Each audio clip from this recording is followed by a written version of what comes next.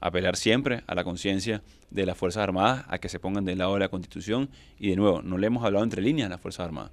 Hemos dicho muy claramente que deben permitir el ingreso de la ayuda humanitaria y el que no lo haga va a ser considerado como un crimen de lesa humanidad. En Venezuela pudiéramos estar hablando de un, genocidio silencioso cuando cientos de miles han perdido la vida por falta de insumos, por no proteger eh, el derecho a la vida, este régimen del venezolano. Así que este régimen asesina de manera directa como el FAES, que asesinó a 70 en una semana porque estaban protestando, o de manera indirecta porque no atiende la crisis de alimentación, porque no atiende la crisis de insumos médicos, e incluso la inseguridad que convierte a Caracas en la capital más violenta del planeta.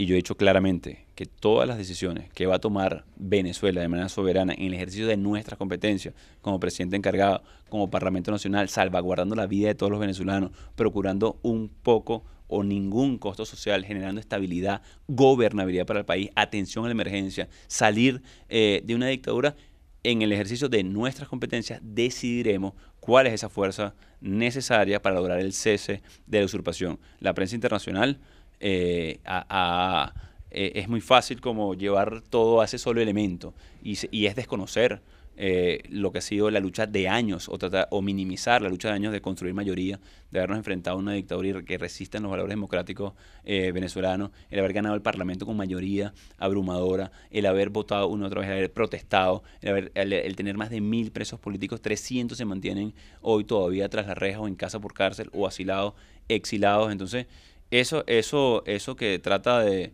de, hacer ver que, que, que es una opción, eh, solamente eh, desconocería todo el esfuerzo y el sacrificio de Venezuela.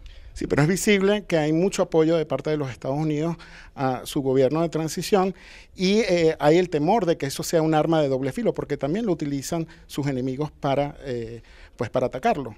¿No cree usted? Bueno, no le quedan muchos más argumentos, pero también sería minimizar, por ejemplo, que Alemania nos da un respaldo importante, que ha aportado un fondo además muy importante, el cual agradecemos muchísimo a la ayuda humanitaria, lo que hace Chile, Colombia, Ecuador, Perú, Paraguay, eh, Inglaterra, Francia, España, eh, Marruecos, eh, Israel, Japón y otros 60 países. Es la coalición más grande del mundo en respaldo de la causa constitucional democrática de Venezuela. Entonces, de nuevo, es, querer exacerbar y traspolar un conflicto que no es el venezolano. El venezolano tiene una coalición sin precedentes de respaldo de países a una causa democrática, constitucional. Y en estos días me preguntaban, bueno, ¿y por qué usted sigue libre?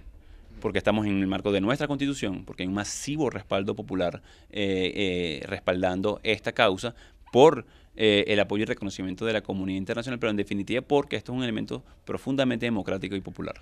¿En cuántos programas de televisión me ha invitado en Venezuela? Ninguno.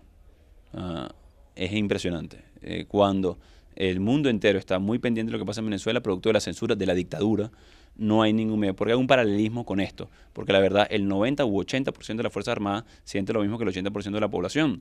O sea, que no pueden vivir de su sueldo, eh, que están siendo perseguidos, que eh, sus familias se quieren ir del país o que se están muriendo por falta de insumos médicos. Así que no han sido pocos, producto, a pesar de la persecución, los sargentos que se manifestaron descontentos en Cotiza, el general de división activo de la Fuerza Aérea eh, que me reconoció, los agregados militares en cada una de las embajadas que están trabajando ya eh, a la orden de este nuevo gobierno incipiente que busca ser de transición, que genera estabilidad a un país que clama por derechos fundamentales. Entonces, hay mucha persecución, hay 160 militares activos, eh, de los mejores, ah, por cierto, en todo el país siendo torturados en este momento. Esos sargentos que te hacía referencia están en los sótanos de la Dirección de Contrainteligencia Militar siendo torturados, sus familias desaparecidas. Entonces, de nuevo, a pesar de que aquí hay un despertar importante eh, o redespertar, porque durante mucho tiempo estamos movilizados y activos en las calles, aquí hay una dictadura, aquí hay persecución en Venezuela, aquí hay tortura, aquí hay una generación de, de persecución en este momento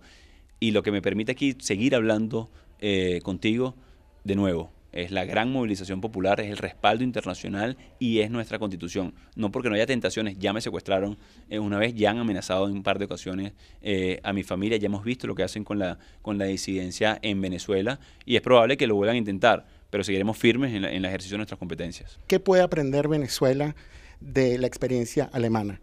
O sea, este, los alemanes pudieron superar una dictadura socialista al tumbar el muro. ¿Qué puede aprender a Venezuela de esa experiencia? Bueno, muchos elementos, eh, y lo hemos hablado desde el principio. Yo creo que eh, estos 20 años de intolerancia, estos 20 años de, querer segregarnos eh, socialmente, creo que podemos hacer algunas similitudes con lo que sucedió en la manera. Y ya este proceso que iniciamos, o que reiniciamos, insisto, este 2019, hablado desde reencuentro, de unificación, hablado de sacar a Venezuela de reconstruir. Así que sí, pudiéramos sacar mucho, muchos elementos de similitudes con lo que, con lo que vivió eh, la reunificación de las dos eh, Alemania.